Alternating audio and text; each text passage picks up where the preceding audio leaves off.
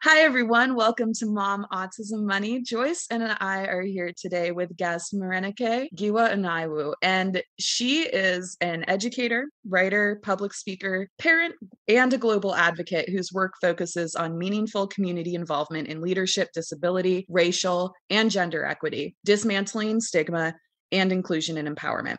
Often drawing from personal background as a person of color in a neurodiverse and serodifferent family, a late diagnosed adult on the autism spectrum, and relevant educational and professional experience, Morenike is a highly sought after presenter, consultant, and subject matter expert. Morenike has been an invited speaker in the White House, at the United Nations headquarters, a keynote speaker and or presenter at numerous conferences, and provides diversity research and disability consulting to several organizations. Morenike, who is currently a humanities scholar at Rice University and a doctoral candidate in education, has been published by Beacon Press and Palgrave Macmillan, and will release an edited collection on neurodiversity in the Black community in 2022 with Jessica Kingsley Publishing. And today, Morenike is joining us to talk a little bit about boundaries and how we can teach our children to set those. And Joyce, we listened to this episode together. I was blown away by Morenike. She gave me chills she taught me so much. There's so much in there that I'm going to take away. I listened to it yesterday. I was blown away. I was shocked and I learned so much.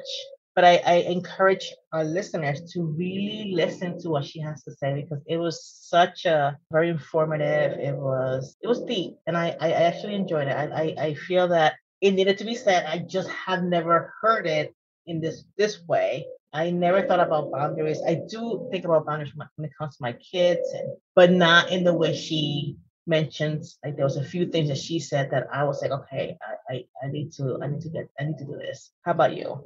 Definitely. There were some areas where I was like, oh my gosh, I didn't even know I needed to up my game, but now I know.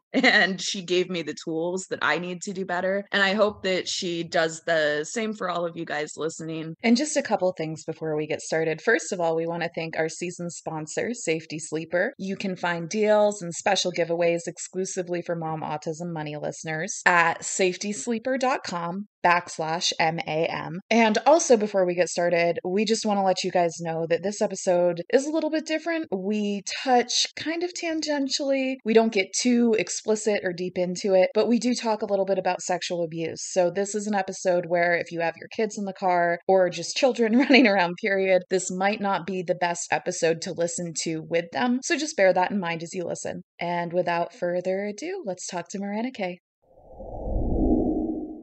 So, today we are going to be talking about boundaries and specifically how we can best teach those boundaries and those boundary setting skills to our autistic children. And Morenike, I'm wondering if you can just talk to us a little bit about why this is such such an important practice uh, and why it's so important that parents get it right. It's beyond important. I think it's one of the most important things that um, a person can convey to their child. I think that you know yes, we want our children to be like kind or good people, ethical people. We want them to care about others. We want them to be able to have a sense of self actualization and succeed. All of those things are important. But I think before those things, the, at the foundational level, whether you've got a child that's inherently kind or your kid's kind of a jerk, you know, like, like, like their personality type or whatever, or whatever they're going to be or, or not be in life, I think that they need to be safe.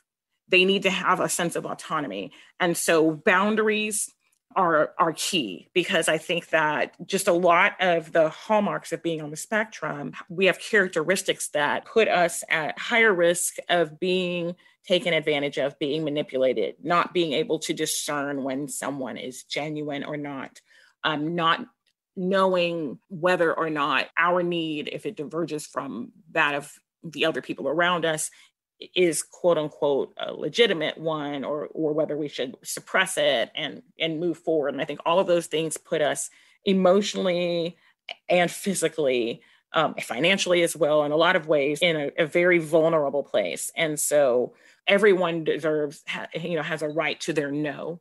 Everyone has a right to some semblance of control over their lives. Like even you know if we think about in the united states and other countries for example a person can be imprisoned but you still have rights. You still have a right to medical care. You still have a right to an attorney. You know you have a right to representation and so forth. Everyone regardless of who they are um, has um, a base level of rights. And I think that the world seems to have forgotten that when it comes to autistic people, particularly autistic children, especially when we look at the, you know, a lot of the early intervention and a lot of the kind of more uh, popular quote unquote evidence based practices.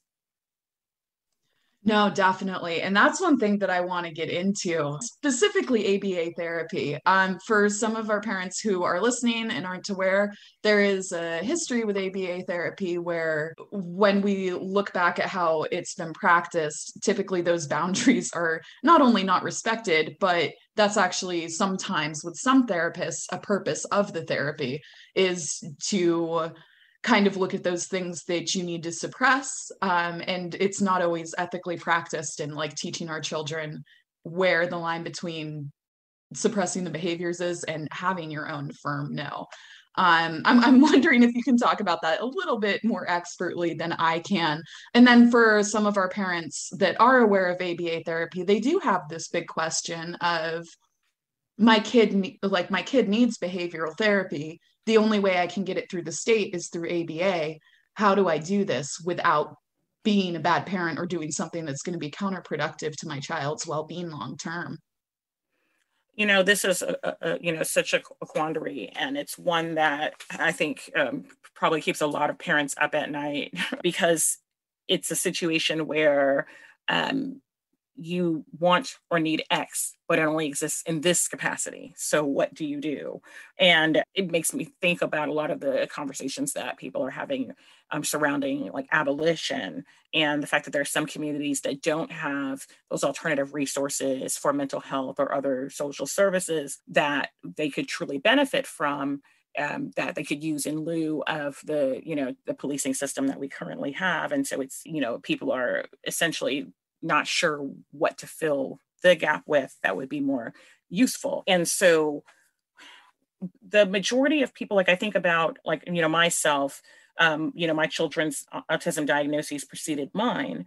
And like every other parent probably i've been in that situation where you're sitting in that room and uh, you know they're giving you after you've done all these different assessments and evaluations and this and that and they're they're giving you the diagnosis and they're talking to you and they're telling you about what you need to do and they're giving you the 100 day kit and um, they're telling you about um, you know what that quote unquote evidence based practices and how you want your child to be quote unquote indistinguishable from the norm and hit hard, hit early, and all of those different things.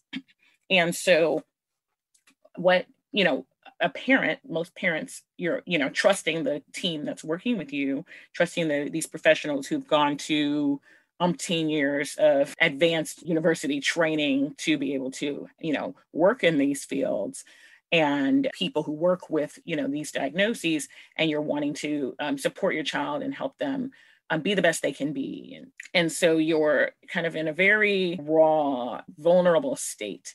And you're trusting that the information that you're getting is objective and is that it, takes into consideration the big picture. But unfortunately that's not the case. Like so what you're told is that this, this is an evidence-based practice it works it's been demonstrated you know this way this way this way um, in this this age of children it's been replicated many times. Um, it has to be done x amount of hours and in this manner to be useful. And most parents like you're like okay i'm all in. What do i have to do? What do i have to do? Sign me up. How much do i have to pay? I don't care. Do i have to drive across town every day? Whatever. I'm, I'm, I'm in it for my kid. The problem is that people are being sold a a, a, one size fits all when I don't even think that necessarily in this case one size even fits most. And there, I think the the claims of the evidence base are exaggerated at best.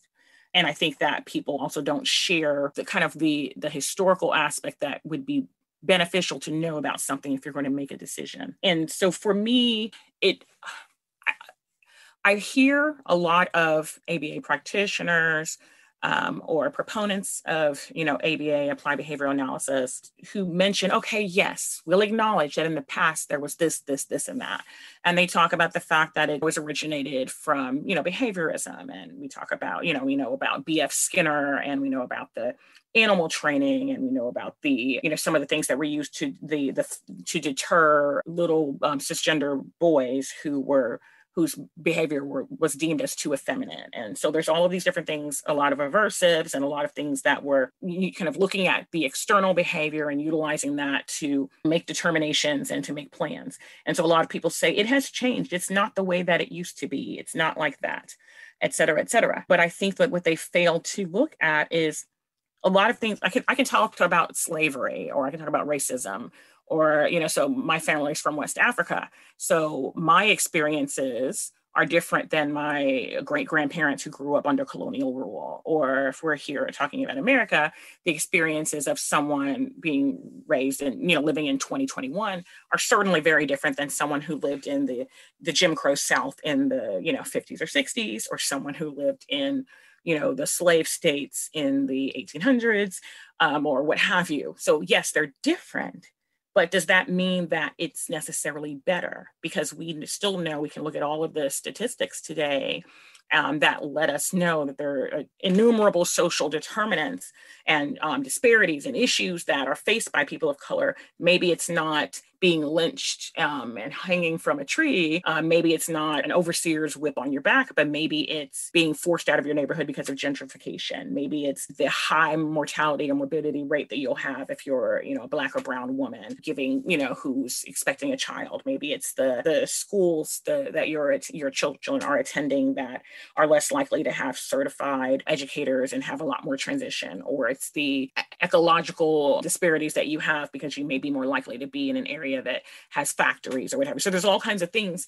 that don't look the way they used to be, look before, but that doesn't mean that they're better just because they're different. And so I think that people mention, okay, so ABA does not do, you know, maybe they no longer have loud noises and smells of ammonia or slapping people across the face or some of those other things that were all um, regularly practiced by, you know, in ABA. I would venture to say that um, that is not, that is what is typically seen. But that doesn't make the, the what we currently have better. There's a lot of ways to be abusive and manipulative to a person without ever putting a finger on them without ever touching them. It can be done with words. It can be done with um, gestures. It can be done with withholding things that a person needs. And i think that a lot of the practices of aba have the capacity to create a lot of psychological trauma in a person, in a child, in, in, in a group of people who crave routine and sameness, which is why echolalia and scripting is common. And we use it to soothe or to communicate, which is why stimming occurs, which is why the stereotypy of our movements or some of our social communication or what have you, whether it's written or aloud, is the way that it is. And yet you're taking circumstances where we can't have what we need, can't communicate or move in the ways that uh, feel most natural for us or that soothe us or um, you know everything becomes very artificial. And i think that you you learn quickly that it doesn't matter what you want or what you need you need to perform in this way in order to get a positive response or to get what you want or need or to get attention. And i think that's very dangerous in a world where you're already where everything is already feels kind of flipped upside down for you for there to be no safe haven for even home your you know your parent um, or the people you call your teacher or your caregiver because if you are typically if you have a child who has disabilities these providers are a pretty regular part of your life um, at least at certain intervals. Um, you know them by name they know you by name they're either coming in your home and providing services or you're regularly going to a particular um, office or clinic or, or, or, or, place for services. And so these aren't strangers. These are people who your child knows them by sight and they know your child by sight and that you, you see them multiple times a week. And so these are people that are, you know, trusted authority figures in your life, not strangers. And these are the people who are who won't you know won't make won't speak to you unless you make eye contact or unless you answer a question a certain way or you know will take the things that you want away if you don't move and all of these different things. And i just feel like it basically it teaches you that those closest to you that you love that you trust that you care for and that care for you and that know you and that are in your life on a regular basis have sh- sent the message that what you want or need or feel is inferior and it, it, you know and you need to defer to what they want need or feel. And you're sending you basically laying a precedent for that to be the case in the world at large. Because if that's how we interact with those that we trust the most and that's the message they're sending then why wouldn't we translate that message to all of our other interactions no, definitely. Definitely. And that's that's the huge problematic thing that I guess I can't figure out is let's say you have a child who is stripping, or let's say that you have a child who, like, I had a friend who, like, their kid was eating rock salt. Uh, like up here when it snows, we put like rock salt on the ground to like make things not slippery or whatever. I and so, yeah, like how, how do you handle situations like that? Just because the only thing I feel like a lot of parents are exposed to is ABA. So, how would you go about healthily handling situations like that where you don't you don't want to control your child necessarily but there are certain safety concerns or social norms where the parent might be lost on on how to parent in that situation. And see that's why certain things frustrate me so much about the way our healthcare system works and the way because i feel like you know essentially um, people were, are told oh, okay well you know eclectic programs or things that are mixed and matched don't work. You have to have a pure this or that. Um, because i think that there are elements of aba that and, and actually they're not they don't belong only to ABA, but they're more attributed to ABA, like a lot of the data keeping and record keeping and, um, you know, kind of like the assessments that are done or so forth. Like there's elements of that I think that are beneficial and helpful and would be beneficial and helpful in any field and you know in any type of practice. Um, and i think that's why we've seen some of it um, kind of become infiltrated into the school system. So i think that there are um, you know there's a saying that even a, a, broken clock is right twice a day so nothing is all bad.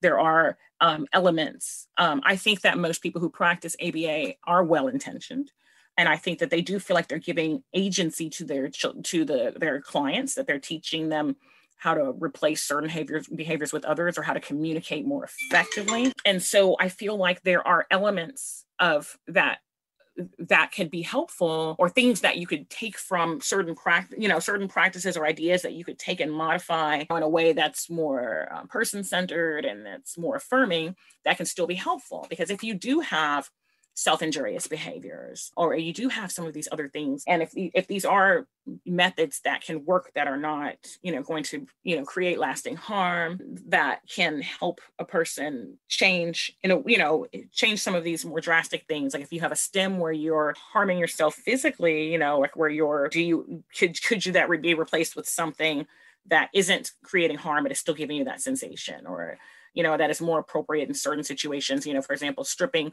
it feels nice to be nude, but you can't always be nude. So what can you, what is a, a nice replacement?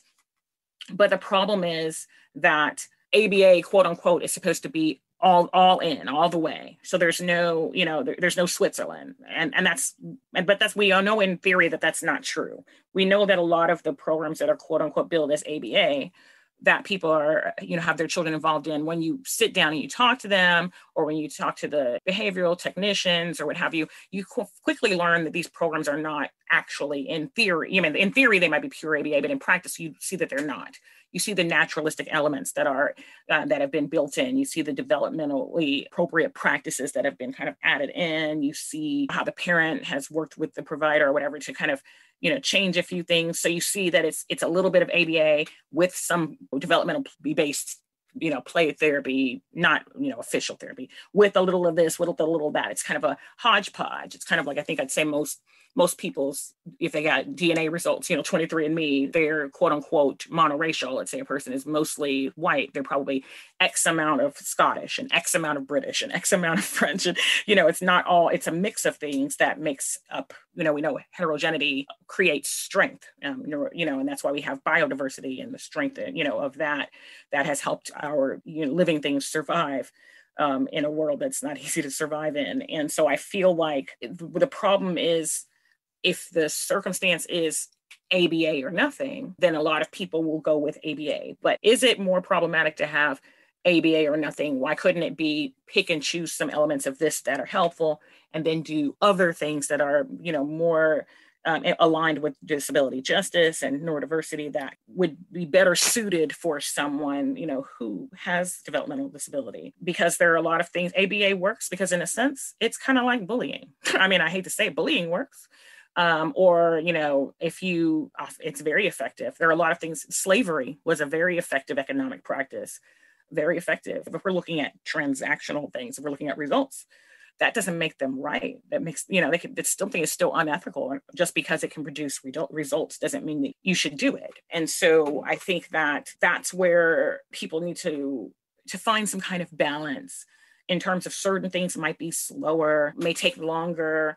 Um, you may not see the results. You don't have the instant gratification that you might have in, in a program where someone is being, you know, trained, but that person might have held on to their sense of self a person may have a lot less anxiety. A person may be able to continue that behavior um, over time as opposed to it being something that fades away. You don't have to live your life like you're in a therapy setting at all times, like you're always on, like you're always wearing a mask. And I think that's, um, you know, ultimately, I, think about a lot of the practices, being a person of color and um, having been raised in the South, I think about a lot of the practices that have been quote unquote effective but problematic. And one a couple that i think of immediately like i think about I'm going to single out, although I'm sure this applies to other communities as well, but I'm going to single out like the Black community in the South. So growing up, you would not see a child of color, or particularly a Black child, in the store throwing a tantrum at Walmart or Target because they wanted a toy or a cookie. You would see a white child doing that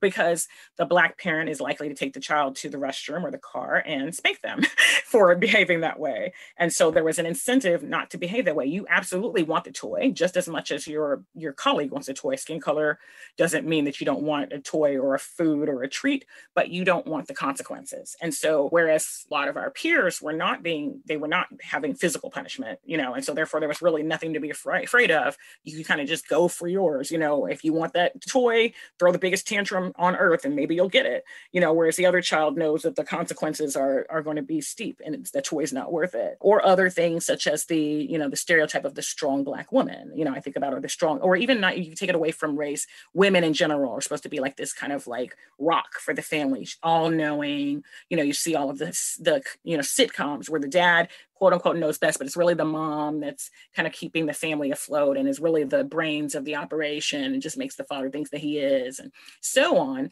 And then you see how much that has impacted women's mental health how caregivers typically don't care for themselves the way that they should because of the fact that they're putting everyone else's needs before their own. They're not putting their own oxygen mask on. So, yes, you've got this facade of strength and that but that but, it, but that's exactly what it is a facade because the external part might be strong but internally you're you know you're you're broken down and destroyed because you haven't built yourself up and so that's what i think about like when i think about aba certain things that are are going to have results because it's if you think about animal training uh, again um, if the dog that you were very harsh with or you know what have you is going to be the one that's better behave quote unquote or trained than the one that um, where maybe you know things are more inconsistent than you know and, and so it's just it's you know so deprivation gets results. I mean stockholm syndrome is real. You know people do want to please their oppressors. And so, if that means to behave a certain way, move a certain way, speak a certain way,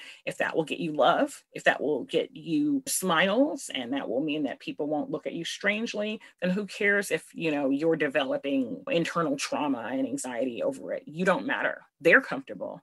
And that's, you know, and that's what everyone needs to be comfortable with what they see. It doesn't matter what you feel on the inside or what you wish to do on the inside, as long as the outside looks pretty. That's the message that is often sent and that frightens me because because no one's denying that in a many in many ways ABA can be effective. But is it worth the price? No for sure for sure. And now a word from our sponsor all right everyone imagine this it's 2 a.m. and you are wide awake. You're worried your child is going to wake up and wander the house, or heaven forbid, outside the house if you dare to nod off. You never get a full night's rest, and it is not okay. But you're not alone. Some disabled children do struggle to get consistent sleep. The reason for this is an ongoing topic of research in the medical community, but what is clear is that humans need sleep. Your child needs sleep, mom needs sleep, and if you aren't getting it, everything else in life gets harder. Enter the Safety Sleeper by Abram's Nation. The Safety Sleeper is an enclosed and portable sleeping system. This durable medical equipment was created by a mom who's been there, so it's stylish, customizable, and completely portable, allowing your family to sleep safely whether you're at home or traveling. You can buy the Safety Sleeper direct through Medicaid or through your private health insurer. Plus, our friends at Safety Sleeper have put together a free trial giveaway exclusively for Mom Autism Money listeners. Learn more at safetysleeper.com backslash MAM. That's short for Mom Autism Money. Again, that's safetysleeper.com backslash MAM. I'm sorry, I don't want to make the whole thing about ABA. I do have one more question for you, though, just because I don't think that a lot of our parents, some of them have been exposed and have specifically asked about this, like, how do I do this right? But then others, I probably don't have exposure to this point of view. So I, I guess my final question on the ABA front is how is a neurotypical parent who maybe doesn't have a background in education maybe doesn't have exposure to the wider like autistic culture how do you identify some of those behaviors that like nobody's coming in your house and slapping your kid in the face anymore? Like we all get that that's not happening right? Or it shouldn't be. Please i hope it's not happening. But what are what are some of those other strategies that could end up being counterproductive or end up uh, causing that internalized trauma. Withholding items, it sounds like maybe one of them. I don't know if reward systems, like, I don't know how those fit in. Are there any specific things that parents should be looking out for that if it's happening in their house, they should make it stop? I'm really glad you brought that up because I agree. It's like and I think that's why there's sometimes, um, you know, strife often with, you know, people who, with autistic adults who are trying to provide a, an alternate view or counter narrative to ABA. And then parents, they're coming on, they're saying, you're an abuser. You're letting your child be abused. And the parent is thinking, my child jumps for joy when they see, you know, Miss Stephanie or, you know, Mr. Troy or, you know, or, or Mx. Taylor. Um, my child is happy, you know, enjoys this, is having fun, is able to ask for things. What do you mean abusive? I'm, I'm watching through a camera. I'm checking, you know, that's not happening to my kid, you know, and so it's like the language I think doesn't match. And so I think, and I, I agree that, you know, if a person is neurotypical and some of the things that are hard for us to do are not hard for others, you know, I, the parent may not recognize that you know what it's doing to the child it isn't that they don't care you absolutely care but it just doesn't you know manifest in the same way they i can you know i can sit in a particular room and if i'm in there too long i could be you know a migraine can form and tears can form from the scent of maybe the cleaning product that was used that everyone else can't even smell. So it's not like they're they're gaslighting me. They just it isn't impacting them that way. And then you add the fact that we don't always a lot of what we don't necessarily display our emotions in the traditional way. So whereas someone else might show distress by a frown or by this or that we may not necessarily do that. So how can one read it? Um, and so but but this is what i want to encourage parents. You might be neurotypical. You might not have your child's neurology or you may not even be neurotypical. Maybe you're neurodivergent because a lot of parents are. Um, even if you aren't necessarily autistic you know we see that that you know neurodivergence runs in families.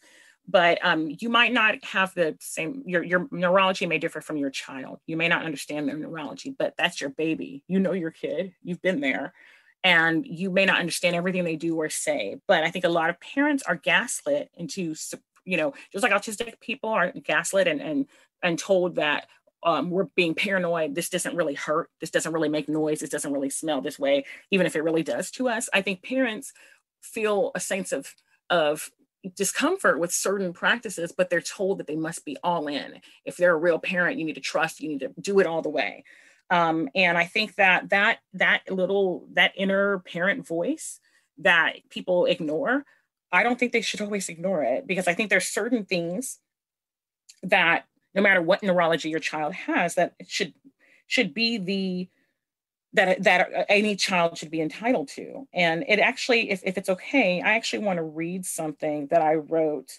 um, in January, to, um, you know, 2015. oh, um, no, we'd love that. Yeah. Thank you, because it kind of relates to this. It, it's basically, and I, I called it full-time jobs for preschool children because of autism. And um, I think it, you know, it, it, relates to some of these feelings. Um, and so I'm just going to read it if you don't mind. Long before the day we received a formal autism diagnosis. I already knew my daughter was autistic. I hadn't picked it up at first, not because the signs weren't there, because they were, but because I didn't see anything problematic in those signs. She was a lot like the way I was as a child, and also in some ways similar to me, even in adulthood. For the most part, I understood her. And even the areas that I didn't understand didn't alarm me.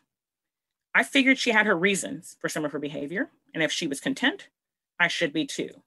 I know this is not typical of everyone, this is simply my experience. It was only when I enrolled her at two years old in a part time Mother's Day Out program that the differences between my child and others her age were pointed out to me by the program staff. Not understanding what they were implying, I decided to come on a few different occasions and observe the class through the window to try to understand. In doing so, for the first time, I saw my daughter through their eyes. And it was glaringly obvious at that moment that she was indeed different. I went home and took to the internet to try to figure things out. It didn't take very long to determine what I saw autism. I read thoroughly through the DSM 4 and DSM 5, as well as a host of other articles. Then I visited several other websites, forums, and blogs. For several weeks, I spent nearly every spare moment I had online, often awake until three or four in the morning. Everything that I read confirmed her suspected autism diagnosis more and more. On a visit to the pediatrician, I shared my thoughts, and she administered the MCHAT, the results were, were no surprise. Fast forward many different specialists, assessments, and visits later, we had an autism diagnosis. I was glad to have confirmation of what I already knew. And I was fortunate enough to live in a major city where I felt my daughter could have proper support and services. Armed with literature, phone numbers, referrals, and URLs to visit, I set about trying to determine what my daughter might need and how to get her plugged in. One theme kept coming up over and over and over. And that was, quote, early intervention is key. You will need a minimum of 40 hours per week of behavior therapy in order to obtain the maximum results. You must start now before she is three, and you need to implement these at home as well. Unquote. I read that and was told that more times than I could count. When I questioned this logic, I was told that there was extensive research to support this. So I looked that up too. I reviewed numerous studies and sub studies examined literature reviews, scoping reviews, meta reviews, and meta analyses. I read personal accounts, contacted clinics, reviewed at length the standards on the BACB, which is the body responsible for the accreditation of ABA programs and personnel. I watched videos, read blogs, and looked at even more research, and I still wasn't feeling it. BC, before children. I had taken some undergraduate level psychology courses in college. I took more of them than what was required of my degree because I found the courses interesting and I utilized the extra classes as electives. Aside from the usual intro to psychology survey classes, I also took child psychology, developmental psychology over the lifespan, social psychology, women's psychology, etc. I do not profess that taking a handful of undergraduate psychology classes makes me any sort of expert in psychology. However, it seemed to me that this 40 hour a week ABA recommendation was contrary to nearly everything that I had learned about development and the, and the young child. 40 hours a week is the equivalent of a full time job. There is a plethora of literature about the way children learn. This research talks about their need for spontaneity, variety, and learning experiences. It also emphasizes their need to be nurtured, to move, to play, have supportive relationships, to be able to build trust, to be able to make choices, make mistakes, develop healthy attachments. Did all of this no longer apply simply because my daughter was disabled? Before her diagnosis, I had worked part time in order to spend more time with my children. I was very privileged that I had an employer who allowed me to work from home on some days and a few days a week bring my daughter to work with me. The Mother's Day Out program, which my daughter had only recently started attending, was only 10 to 12 hours per week. At this time, my child was not even in 40 hours per week of childcare. Yet now she was supposed to be in 40 hours a week of therapy because we now had a name for the condition that she had always had. Please note, I realize that everyone is not fortunate enough to make the choices that I have had. I was raised by a wonderful mother who worked full time outside the home. This is no indictment of parents whose children are in daycare full time. But I'm just observing that on top of the recommended 40 hours of ABA, we were told that we needed to reinforce the strategies used in the therapies with her at home.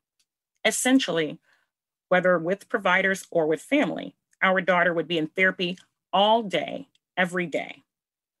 Plus, as my daughter had sensory, fine motor um, differences, speech delay, and other things, in addition to ABA therapy, she also needed speech therapy and occupational therapy as well. The whole thing was mind boggling. Was my daughter's life going to become nothing but therapy after therapy from morning to night? When would she have time to just breathe? When would she have time to play? When could she be alone and have downtime? Now that we had a name for her diagnosis, was she so broken that she didn't deserve a childhood anymore? I am not anti therapy. Since the age of six months, my daughter had already been in therapy a few times a week for some other health issues. But what was being proposed as a result of this diagnosis seemed far beyond that. Then there is the cost of these therapies, which was pretty high. It seemed that many families had depleted their savings and refinanced their homes in order to come up with the money to pay for these services. There was huge variation from one provider to the next with regard to having the fees paid for by insurance and out of pocket. Finally, I had to consider the therapy itself. Technically, according to the studies, it worked. But the areas that were measured by most of the studies were not the areas that were of greatest interest to me as a mom. I was less concerned with the fact that there were results in terms of decreasing noticeable stereotypy, increasing eye contact, enrollment in general education, etc. I was more concerned about shaping her into a healthy, whole, and decent person. Much of the therapy seemed repetitive, dry, rigid, impersonal, and domineering.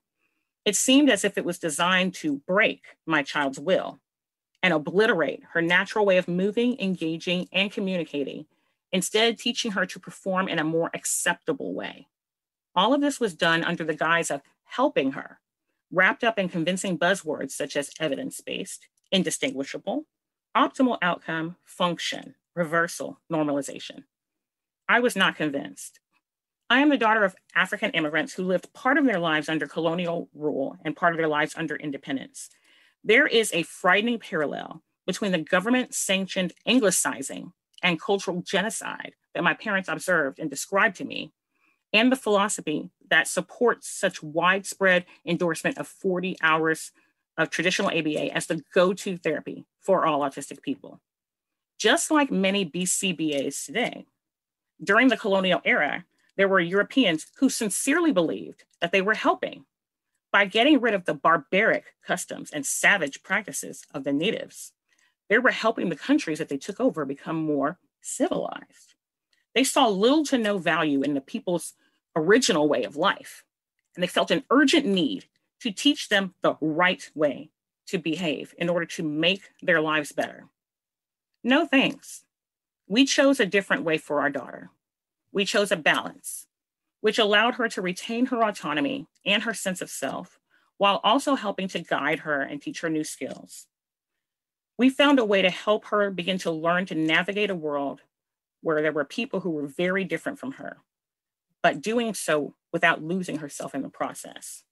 We chose an approach that, though slower, surrounded her with people who were loving and prioritized her needs, while also incorporating healthy and age appropriate boundaries. We bucked the system and we opted not to subject her to the equivalent of a full time job simply for the crime of being autistic. I have like chills. Thank you for sharing that. I uh, I had a similar similar feeling and experience in those younger years, and I had never drawn the through lines to colonialism. But wow, thank you. Yes, and I just feel like parents you know, parents, it's so hard to be a parent no matter what your neurology is, no matter what your child's neurology yeah. is. It's like, it's the toughest job. I mean, you know, like they say, the toughest job you'll ever love. And it's true, you love it, but you, there is no manual. You are building the plane as you fly. It, you are learning on the job. You're going to make mistakes. But I feel like most parents, they don't know, parents don't know everything. We all make mistakes, but they do care. They do try, but they are told, Uh, I, I got to suppress this feeling. This doesn't feel right. I don't know if I should do this, but but I've got to do what I've got to do for my kid. And this is right. this person says this, and I feel like that parents err in doing that because no, you may not have the neurology of your child. No, you might not have the particular educational or professional background of this person. But this doesn't, you don't have to, you know, drink the Kool Aid. You don't have to accept that there's just this one way. You have a right, you, you know, you may not understand everything that your child does, but you you usually can tell when they're in distress or when they're happy or when they're regressing. And just because you see progress doesn't mean that progress is worth the admission price and so i just want to empower parents like you might you don't have to you're not the neuro you don't you aren't the expert on your child's neurology that's why autistic adults and parents should work together. The autistic adult is the expert on being an autistic child, maybe not being your child, but being an autistic child. You are the expert on your child. together, the two of you can bridge the gap. They don't know your kid like you do, and you don't know your child's neurology like they do. By working together, you can find a way. Um, and I understand that some people are in circumstances where they can't um, I, I don't I you know, I don't demonize parents. I of my my two autistic children, I had one that did do some ABA and one did that did not. I do still see the the difference in the two of them to this day, um, in terms of how you know anxiety ridden and how much of a perfectionist she is and how more laid back he is. And like I I regret every day, but I, it wasn't. She smiled. She seemed to enjoy going there. She seemed to have fun. The people were nice. Um, I observed what was going on, you know, and yet I still feel like it's almost kind of like a situation where you're trying to make a bad situation palatable. Like okay here's some you know trans fats and here's some corn syrup and here's some whatever. Can we throw in some sage and can we throw in some broccoli? Yeah cauliflower can we improve it? But it's already but the base that you're starting with is unhealthy. So you can make it better but you you, you aren't going to change its true composition. And so that's what i feel like. There are things that you know skills or, or things that she can do that her her sibling cannot do quote unquote skills that she has that that he doesn't have. She can quote unquote pass a lot better than he can. And yet there's a lot on the inside that she struggles with to this day that he does not. And I, I, I know that a lot of that, the seeds to all of that go back to doubting herself from that ABA. And I'm an I'm an involved mom who I would sit and watch, ask questions, be, you know, look at her, you know, results and all these types of things. And I still feel like I, I erred. But I understand that sometimes you don't really have a whole lot of resources. Um, and sometimes you have to make concessions that are unpleasant and that are um, you know that you will hopefully you know be able to make a different choice at a different point in your life. Um, it's never too late to start over. It's never too late to make changes.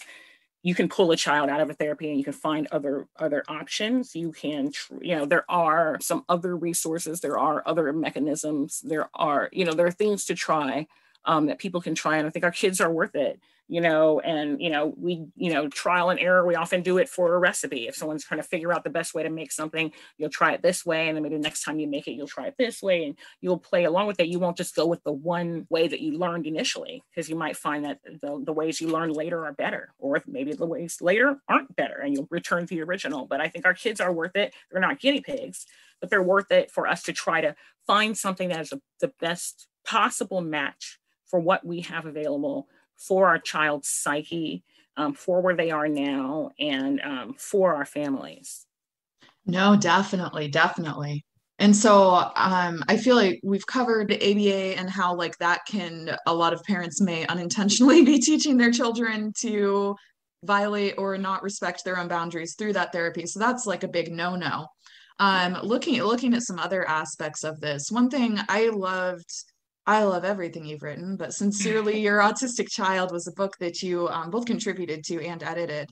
And one theme that I noticed that came up there again and again that just broke my heart was just exposure exposure to abuse like physical yes. abuse sexual abuse so i'm wondering we know we know now that we have to be very careful and evaluate what's happening with behavioral therapy because of because of aba are there any proactive things that we can do i guess specifically because this theme of um, physical and sexual abuse came up so often what things can we actively be doing or teaching to kind of um, help our children learn how to draw those boundaries for themselves. Again remembering that like abuse is never the fault of the victim here right? Yeah, like if your kid's abused it's not their fault but there are certain boundaries that we can draw in life that can help us reduce the odds of of becoming victims i guess.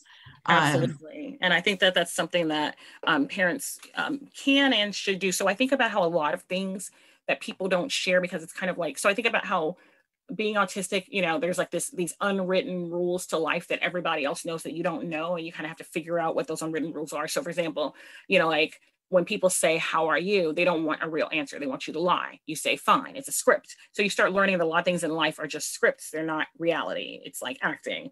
Um, because that's what, you know, when someone, you know, they don't really want to know, you know, if they ask certain questions, they really don't want a true answer. Some people in your life might you know, but a lot of people don't. So you kind of have to learn these little rules and games and try to remember them all. And they differ from situation to situation. And I think that one way that parents can empower their child is have them own that no even though it might be annoying because maybe you're the one they're going to say no to all the time like you know there's you are a parent there's certain times when you're going to have to like you think about anything else like if there is a um you know a tie if there's a team, you know, or what have you, if there's a vote and someone has to break the tie or someone has to, you know, um, so sometimes someone will have to kind of assume authority and, um, you know, make a decision if things are, if there's a stalemate. But ultimately, uh, empower your child to say no. Give them choices, even if the choices seem ridiculous. Give them a choice between this shoe and that shoe. This um, cutting their sandwich sideways or, or you know, or diagonally um, this volume or that volume. This, you know, putting the car seat, putting your arms in the car seat first or your legs in. Like, make sure that they have choices all the time, so that way they are they get a chance to say no a lot. And they, you know, they might say yes. I mean, you know your kids, so oftentimes the answer you might already. So I think what a lot of us do is we know our child likes something, we're not going to we'll just go ahead and defer to what they like. We know they always like to sit on the left side, and we're just going to take them to the left side. And we can, but while taking them to the left side, we can be like, you'd like to be on the left side, right? Or, you know, do you want to be on the left side or the right side? So they can have choices. So even though you're deferring to what, you know, is their preference, they have a chance to say no, and that they can say no about things, even if you don't want them to always say no. My son has a lot of sensory issues when it comes to hair combing. Um, and so he knows that um, at a certain point, like I, I, I can comb for a few seconds, and then after a certain point, I have to stop if he tells me to. It may not get his hair may not still look, not look right. because maybe I need a, a, few more seconds. But he told me no. Many times as a mother, I'm just cringing, thinking, "Oh my gosh, I'm sending my child to school ashy, hair half combed, whatever," because that's what he wanted. Um, but he, but it let him know that he could have some choices, even if I didn't necessarily always like or respect the choices. And this has to start with these the small things. Um, sometimes you have to let them know that their no can't stay. Like, for example, with immunizations, you know, I've had to tell my child, I know you don't like these. I, I've explained to them, you know, I, why they need them. I know you don't want it. I know, but we have to. And I'm really sorry if there was another way, you know, we wouldn't, you know, like, um, so sometimes they know that their no doesn't stand. But if there isn't, if there, if, if I, if there is no valid reason for their no to be overruled for a lot of reasons, you know, at the time their no stands because I think that, and then children should be able to be free to talk to us even though sometimes the info dumping might get old, it's like, how much more are you going to tell me about this Pokemon or whatever? Like, you know, but they need to be free to talk to us because you're not always going to see the signs. I know that I didn't, you know, like when I read the quote unquote signs of someone who was suicidal or depressed, I didn't exhibit those signs. I wasn't giving my stuff away. I wasn't crying. I was pasting on a smile. I was making those straight A's. I was still grinding and pushing because I didn't want to worry that they had enough things to worry about. I didn't want to worry them. Um, and then sometimes some of the stuff just doesn't make sense. Like to to do like um, especially if it's spontaneous, it's not planned out. You're not going to think to do thing A or thing B.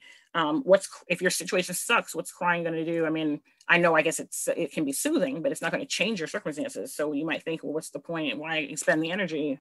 You know. And so I think that having your child be open to talking to you and to asking you questions and be able to ask you a lot of questions, even questions that seem invasive, being making sure they are able to say no, being very, very explicit about a lot of things. Like I'm like with my children, we talked about there was it, it, was not like the little conversation I had in elementary school where they talked about anything that's underneath your, your bathing suit no one should touch. Well, my logical autistic concrete brain was thinking your shoulders are underneath your bathing suit. Your you know your stomach like there's a whole lot of your waist. There's a whole lot of body parts under that bathing suit. So nobody can touch any of that stuff. So your mom can't help you scrub your back. Like you know that's not the way to work. I grabbed I went on the internet and I grabbed dolls, and I'm talking about mons pubises and areolas, and I'm talking about, you know, the difference between the urethra and the penis and scrotum. I, I'm, I'm giving these things names. I'm showing where they are. I'm showing them with, you know, imagery. I'm explaining these different things. I'm breaking it down. I'm trying to think of every possibility, and um, and then I'm talking about things that people say and do,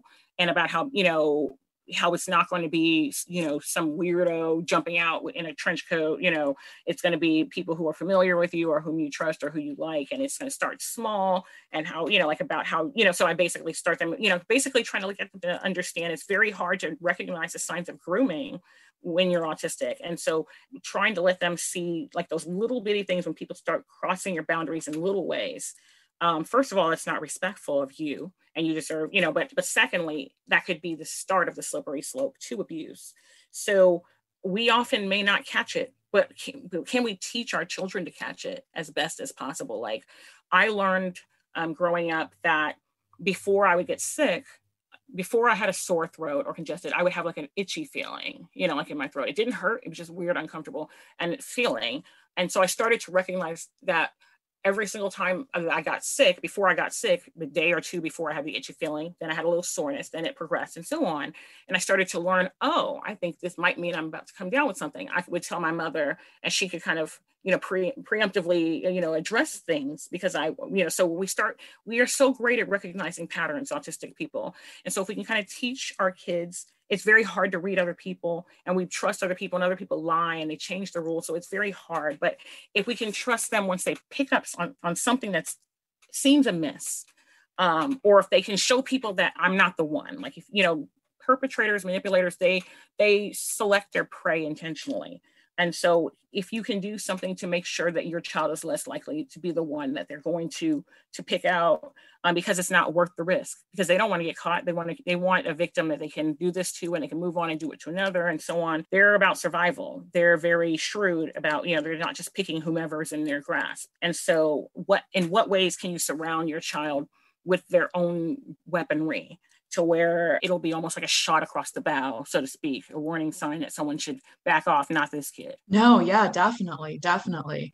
And I think that uh, maybe neurotypical or, or neurodivergent, I feel like a lot of women have been through that situation, but definitely not every woman. So if you have not been through that situation, mm. Um, maybe familiarizing yourself with those patterns it sounds yeah. like would be a good thing to do so that you can then teach them to your child. That's a really good point about the pattern recognition like and that being an effective way to teach. So i remember once when my son was very little and so i would you know so i've talked to him about these things and i revisit the topics and so i remember one day you know so I, I would give him scenarios you know and i would say i would use grandma grandpa his brothers. So i remember one day when i was talking about so if mommy does this to you and does this and the other. Is it wrong? And he paused and he was quiet for a minute. And then he said, no, it's not wrong. And my heart just broke. And I said, no, honey, it is wrong. Because in his mind, he's thinking, but mommy doesn't do bad stuff. You know, this this doesn't even make sense to me, this right. situation. But I said, no, baby, this is if mommy did that, that would mean something is wrong with mommy and mommy needs help. You it is it's still wrong. And you need to, you know, tell someone that you can trust, not mommy, because mommy has problems, um, that this is happening so mommy can go get help and, my, and that you can be safe. Even if mommy's doing it, it's not right. You know, so like I had to try to divorce the person and their character from the act. Like, so we had gotten it down pat that he knew that no one should touch you here, no one should do this. So when I ran through all the different people, siblings, grandparents, favorite teacher, everybody was no, no, no. But when I got to me, I'm mommy. So he said he didn't get it. And and so I said, no, I'm still, it's still not right for me. And like even when I, you know, help with hygiene, I still would say, okay, well, let me help you. Do, you know, like I narrate through the day, like, oh, okay, let me wipe this or let's clean this. I don't just grab for it or I say, okay, let me clean you here. And then I do it. Like I give them a heads up um, just because they have a right to know that, okay, if I'm touching you here, this is why. And there's no other valid reason to do so. And there are only select people who should have any reason to look at these areas or touch these areas. So even if someone tries to use that as an excuse, it's not person X's job to examine this body part or that body part. There's only certain people who should have jurisdiction over that. And so I remember that broke my heart. And so I had to talk to him about that. And he was little, but still, because I was like, no, no, no, you got to get this. I, I, you know, anybody is suspect, even mommy, if, even though if Christ comes down here and, you know, is wrong, you know, like, and so, and so what you got to role play because I would have never known that was a, a, a, you know, I guess a hinge in, in his armor if, if I hadn't discussed it. So I brought the things up and then we even had made up a little song about um, you know like some of the stuff when they were littler um, you know like so and we had some scripts about all these things and what to say if they say they're going to kill your mom or run away or whatever. Like we so i gave them things to say and we chose which ones they wanted but even we had a little song you know nobody can touch my you know blah blah nobody can touch my and then we we had a little it was almost like a cheer like i'd say one part and they'd shout out the body part and they'd make a motion and then i'd say nobody can touch my and they'd do the other one and then i'd say you know the last part and then I'd, I'd say um, I say, I'm going to keep mine. And we'd all say, body safe. And we jump up. So that's adorable. That's awesome. Yeah. I'm like, we do it with everything else. If you think about the ABCs are basically twinkle, twinkle, little star. If you think about all the different mnemonic devices that we use for learning, um, for driving, they tell you to put your hand in at 10 o'clock, 2 o'clock, or all these different things in life. Adults and children, we learn um, we, we, utilize these tools to learn, to remember things, righty tighty, lefty loosey, whatever. Why not for these things too? These are some of the most important lessons we can teach our children. Hopefully, they'll never ever have to use these lessons, but they certainly should know these this language. They should know these things. Um, if if they can eh, grow up and be what right now is the unicorn, which is the autistic person who hasn't been taken advantage of, harmed, or abused in that way. I'd be so grateful. I'd be so happy for there for that to be the case where it's not the norm, where every single autistic adult that I've ever met, whether they were diagnosed in childhood or later in life, has been sexually assaulted or physically abused or emotionally manipulated or you know sexually harassed at work i it's literally 100% of the people that i've met um, if it hasn't happened to them the attempt has been made and that's a, very sobering and terrible statistic that I'd love to see change. Yeah, absolutely. That is, it's really sad.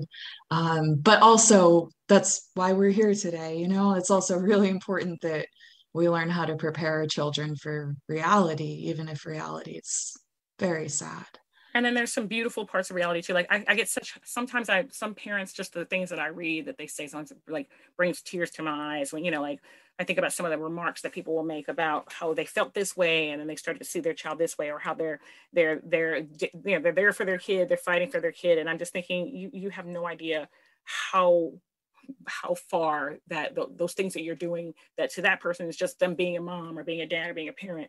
I have no idea how far that stuff goes. Because then for me the outside world was uncomfortable but home was haven. Home they knew that i had to sit here. My food couldn't touch. They didn't really get it why but they they knew it and they accommodated it and i was not a weirdo and i could play that song over and over and i could watch that show over and over and they may you know you know you know make a good natured joke about it but they allowed me to be me. Those things weren't big things. They weren't um they didn't you know make quote unquote major and minor things. You know th- there were certain times yes that they might have to break in, you know, or, or change my routine or whatever for, for valid reasons for the sake of the family. But ultimately, they let me be me. Those things weren't big deals, you know, and we kind of saw them as what I call, my husband and I call red car, blue car. You know, some some decisions that a person makes aren't really it's just their personal preference. They need a car. It's safe. If you look up the car, the model, the year, the type, and you decide that, okay, this is the type of char- car that we're going to purchase because it's good on gas, it's got these safety, you know, mechanisms and blah, blah, blah. Ultimately, you don't care if it's red or blue or black, the color, that's just, that's just coloring. So whatever the person wants, you, is really, that's just by choice, you know? And so a lot of the things that people control, I think they don't have to like, so your kid's stimming or flapping or this or whatever. So what? I mean, like, it'll make it red car, blue car. When it's something that's could be, you know, a danger or a problem or what have you, then intervene. But if the kid is just a little weird, let them be weird, especially at home. Maybe they might know they have to suppress that stuff some in public, but they're a lot more likely to be able to if they don't have to suppress it at home too. If they know when they get home, they can, you know, if you think about the people, they might wear high heels and makeup to work, but they know when they get home, they can kick off those shoes and they can wipe the makeup off and they can just put on some sweats and be comfy because it's home. So make home a home. Make make let the autistic know that you, child know that you, their parent, you're a home. Yeah, absolutely, absolutely. And now a word from our sponsor. Do you struggle with sleep at night because your little one won't or can't sleep? Do you worry your child is unsafe during the night because they aren't sleeping? Have you ever found your child wandering in the middle of the night when you thought they were safe in bed?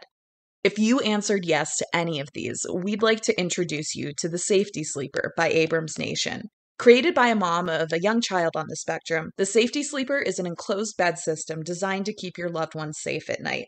The Safety Sleeper zips around a standard mattress. Some people say it looks like a tent. A metal frame, padding, canvas fabric, and zippers make it sturdy and comfortable. You can zip your child into bed and they are safe, secure, and prevented from eloping. Because it was created by a mom, the Safety Sleeper is not only durable medical equipment, but it's also stylish, customizable, and completely portable. Our friends at Abram's Nation want to help you get that rested sleep you've been missing. They're also running an exclusive giveaway just for Mom Autism Money listeners, allowing you to try the Safety Sleeper out for free. To learn more, visit safetysleeper.com backslash MAM. That's short for Mom Autism Money. Again, that's safetysleeper.com backslash MAM. And I guess uh, one final question that we had about boundaries today was kind of veering off in a different direction, but more of our, our home base here, mom autism money. Um, we are uh, we had some listener questions come in regarding setting financial boundaries. And so, some of these parents are particularly concerned that like as they age especially and they're not around to like yeah, help work through, through those situations buying something that's from their yeah that that one i think that's a legitimate concern. Like i really feel like all people so I, i'm a college professor and um, i work in developmental education as well as general education. And so there are a lot of things that sometimes i feel that um, are like provisions that we have in place for our students who get accommodations and you know you know we call them accommodations and learning um, access. It used to be called disability services um, and but I feel like those are things that could be beneficial for any student. And sometimes I'm thinking, why aren't all of the students taking this course about, you know, how to learn, or why aren't all the students, you know, assigned a, a success coach? Why you wait till someone's GPA drops, or till a person asks for help, or if they're enrolled in, you know, a certain, have a certain documented disability to provide that. You know, I, I think about there's so much research about first year seminar type courses and those orientation, extended orientation type courses and cohorts and how that helps with retention and persistence and growth. And I think that everybody can benefit from financial literacy. Everybody can benefit from. So if it's something that you've already been taught or you already have a handle on, you can reinforce it. And if something you don't know, it's important to know. We don't tell people to stop doing CPR and first aid certification just because they've gotten it um, I you know think about the years that you know when we were you know initially adoptive and foster parents. I was there was a period where I could have started to teach the freaking course, but it didn't matter. You still have to take it. You refresh, and sometimes there are new things that you learn, and sometimes they're not. You're just reinforcing what you know, and that's great. That means you're better at it. But I think that there's there's websites and there's tools and there's things. I really feel like that a lot of these things um, if there's a way to get your child to, to do them or be interested in them or do them together, um, there's like little quizzes and games and things that you can do online and things that you can teach them. But I think you have to be a little flexible because I think you have to understand that sometimes we can be spontaneous or sometimes our values, sometimes a person may rather, they would rather spend, it's really, really important for them to go to this um whatever event and they're going to have to cosplay and they have to pay for this and they, they will they will gladly eat ramen noodles instead of you know like cut into their grocery budget for that month. For you know sometimes you have to make those concessions. Like we make them differently than the way non-autistic people make them. Like so most people have a standard budget and they very very little will make them um, deviate from that.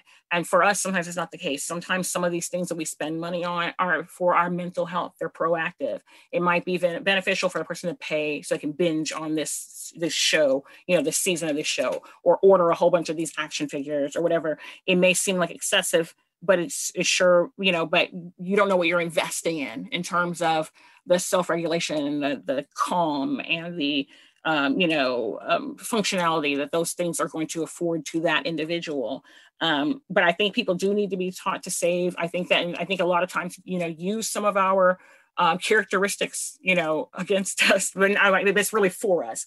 Um, show us the statistics of homelessness and people who are one paycheck away from this and how much this costs and how much money people should have savings. Like we we may not like it, but we we can kind of reason with stuff that makes sense. And so a person may not want to save, and they may want to do this, they may want to do that. But when you show them, if this happens, this, um, a lot of times we like to have provisions, we like to have um, fail safes and so forth, and that might be a way to do it. Or you can have certain things done automatically. Like for me, I don't go out carrying a, um, cash because I'm going to spend it all. You know what I mean? like, um, I'm less likely to pull out a debit card and, and, and swipe it because I think about it. But cash, I've got some cash. Yeah, I'll buy this. I'll buy this random thing that you don't need to buy. You know, and so I have certain things that automatically come out. So as much as you can automate, like in terms of savings and bill pay, I have a lot of things automated. So it's almost kind of out of sight, out of mind because it's going to hurt me to think, oh, I want to, I'm putting this much money away and that I can't see for what I could buy something with that. So, but if it's, it's, if you already kind of have it done, then you are still being active, proactive in doing it, but you're not putting yourself in a situation where you have to manually do it each time and, and face that temptation. Sometimes that can be very hard for us. Um, I think that money management and having um, having you know money set aside for a rainy day and having those skills and having support and having help and knowing that there's tools that you can use to help check your credit and keep up with things and give you suggestions all of those things are worthwhile um, teaching us those skills and supporting us and having something set aside like um, one of my children um, takes a particular medication that is um, necessary like you know they won't live without this medication and so there was one time that after a, we had some inclement weather that, that I got freaked out about not being able to get to the med. So I took about a week and a half's worth and I put it at my brother's home. And I said, this is, you know, it's almost like a, you know, having it in the cloud somewhere in case the lights are cut off or there's a flood or a hurricane. I know I, I, can get to you and I can get this med and she will, you know, we will have enough to tide us over. And I think sometimes having something financial like that, something put away that we can't touch, because it's not even just about being a child. You can be an adult and sometimes still have impulse issues or whatever. Something set aside that you can't touch in case of emergency, but also having build in, like, you know, like a lot of the um, guardianship alternatives that people have where there's supported decision making because sometimes you do need someone to talk you through the way things cost or help you not just buy the first thing instead of you know search for a better deal or not fall for people's tricks and invest all your money in um, you know a pyramid scheme or whatever. So i think that this is these are some of the ways that um, if we could find a better way like sometimes people have guardianship and that means they handle everything and we don't handle anything and we're just kind of left you know almost like infantilized when it comes to the money aspect or yeah. there's the, the, way the world has it where you're all completely on your own. You should be old enough to know how to do this know how to do this know how to do this. No you don't. Like neurotypical autistic whatever most people struggle with these things. That's why you know we have the student loan debt that we have and the you know credit you know situations and the you know issues that we had some years ago with foreclosures. The, those weren't the autistic people are not the majority of the population. This was happening to the typical public. So Absolutely. everyone can benefit from support in these areas and so i think that like there's a website called ally walletwise.com um, that has some like general information about um, how to spend, you know, like about money and, you know, money management and stuff like that, that I, I recommend that if people can check it out, um, that they can. There's another one called cashcourse.org. You can enroll for free and take it and do it. It's got like a bunch of guides and it's, you know, um, I actually have all of my students do it as an assignment, but I think it's beneficial. Is that from NEFE? Yes, yes, it is. I love them. That is yes. a great course. They're awesome, awesome, awesome. And then there's other things like you know, so other there are other resources like Smart About Money, and there's just other things that I just recommend that people. It may seem like a drag, it really isn't. It's actually kind of fun, like to learn about the. You know, I've started to learn so many tricks about. Oh, well, this counts for this, or this does this, or you know, it's almost like you know a game, like a mind teaser when you start to understand how these things work. And so I just recommend that people, it's never too early to start talking about this stuff with your kids, even if it's just something simple as a little allowance. And if you have rules, okay, you get $10 a week, but you must put away, um, you know, you know, a dollar for this. And then you, you, you know, so take some money and pay yourself. You can spend this much, and then you put away this for this or this for that. Like teach them how to budget, even if they're tiny little amounts of money. And you know, it's or you know, or if there's games like they like video, different video games. You know, I know it can be weird because some of these video games are getting like gazillion gold coins for something. You're like, okay, this isn't even realistic. But some of these games where they're buying things or having to pay for things, or you know, if they can, if you teach them to do it and to ignore the cheats, you know, these are little skills that you can teach them and have them help you too in the store. You're buying something, but this you usually buy this, but this one is a deal.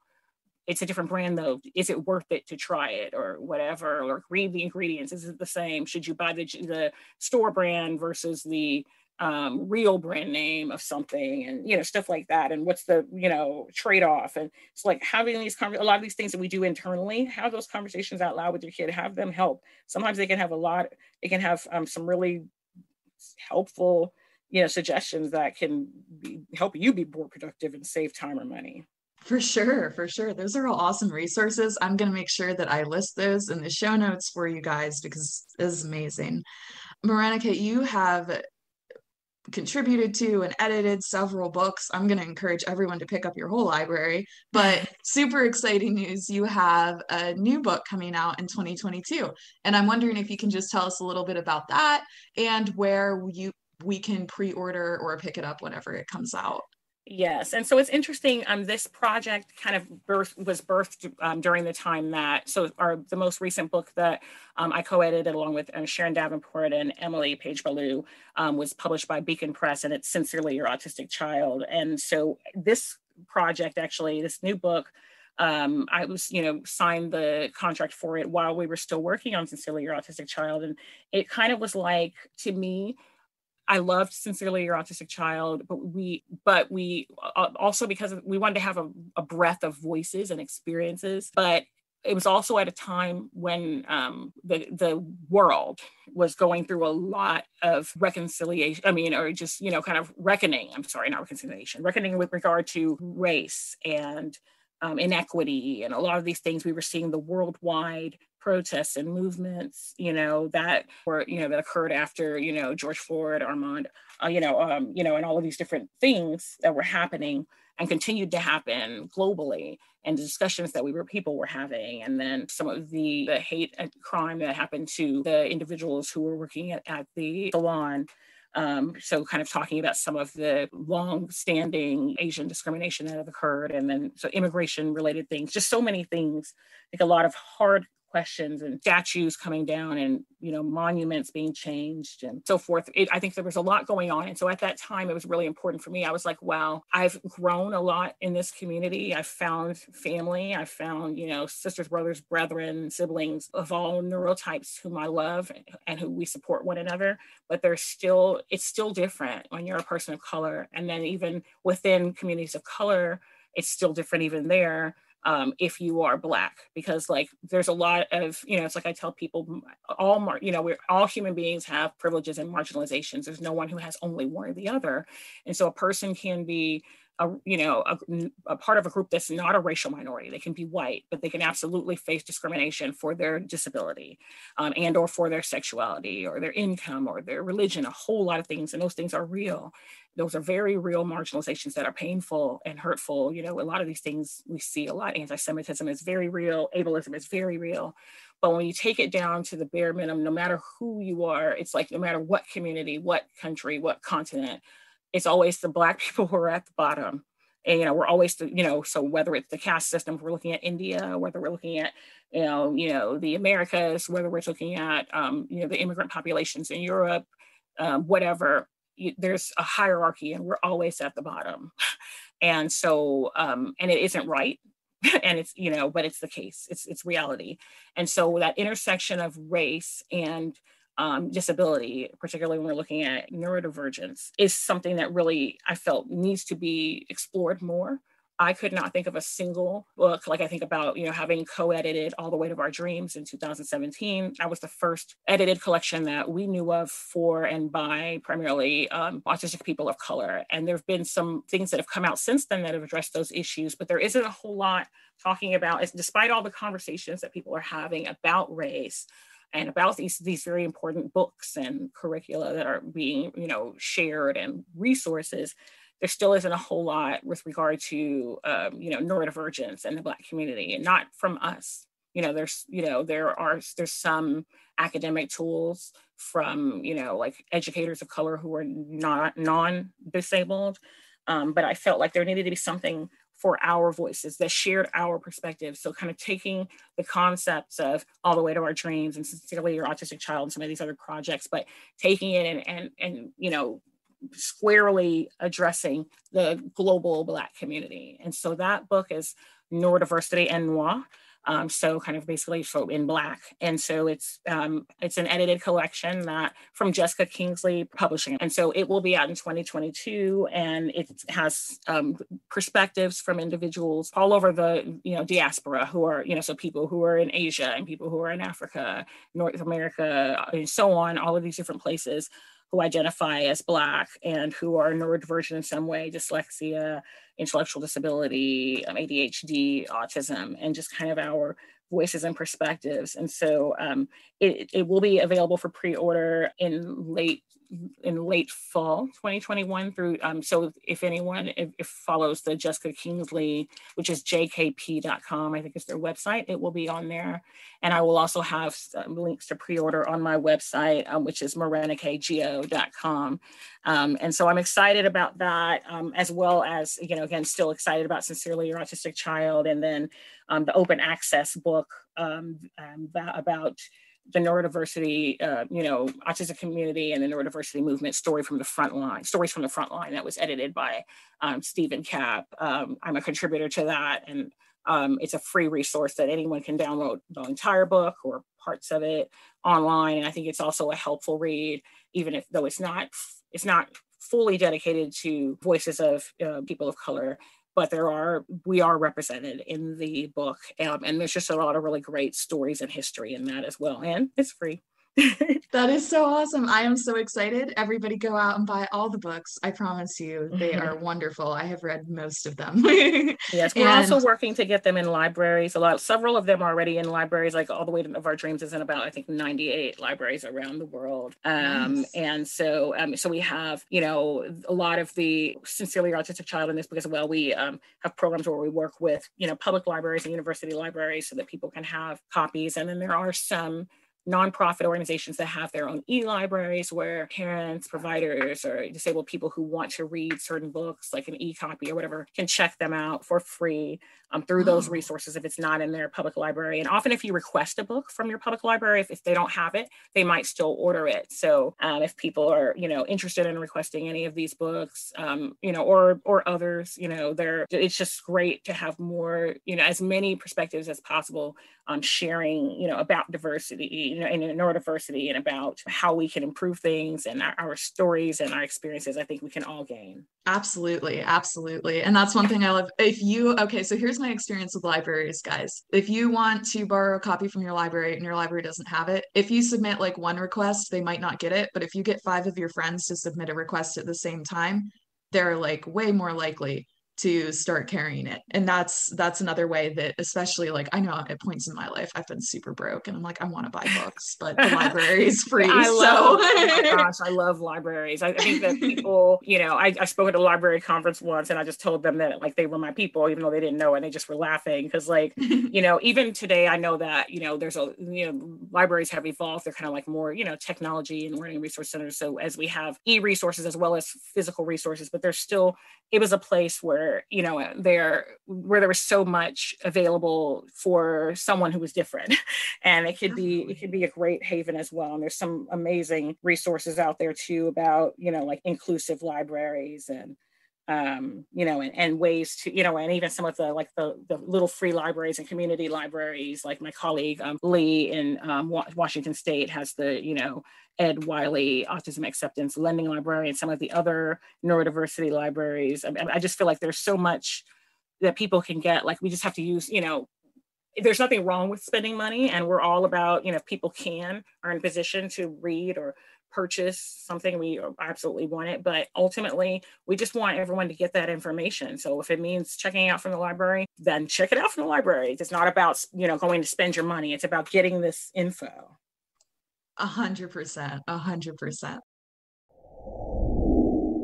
So, like Joyce and I said at the top, we learned a lot from this episode, and we hope you did too. On my end, I know it's changed the way that I parent across certain domains in a meaningful way for the better. This week, especially, we want to encourage you all to check out the show notes. Morenike listed so many great resources at the end there for teaching financial literacy, and much like this podcast episode, reading any and all of the books they've worked on can change the way you understand your child's neurology for the better better. Now, this episode was spurred by a listener question. Specifically, this listener was looking for ways to teach her child to keep themselves safe from financial predators, particularly when they grow up and leave her home. So, in this episode, we focused on the best ways to teach boundary setting skills to autistic children from an autistic expert themselves. And one of the big ways that we learned was just using that strength of pattern recognition. In next week's episode, we'll sit down with Bob Sullivan. Bob is a technology journalist whose work has a heavy focus